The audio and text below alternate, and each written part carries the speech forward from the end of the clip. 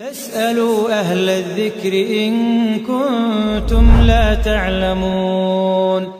الخوف من الله هو الذي يهذب سلوك المؤمنين ويجعلهم في عبودية صادقة لله رب العالمين. ولن تجد إنسانا يخاف الله إلا وجدته أعف الناس لسانا وأثبت وأصدقهم كلاما وبيانا. وأحفظهم لحدود الله عز وجل في قوله وفعله. ولن تجد إنسانا جريئا على حدود الله ومحارم الله إلا وجدته ناقص الخوف من الله. فنسأل الله العظيم رب العرش الكريم أن يكمل خوفنا وخوفكم وأن يجعل هذا الخوف مساك أن يجعل قلوبنا مساكن للخوف منه.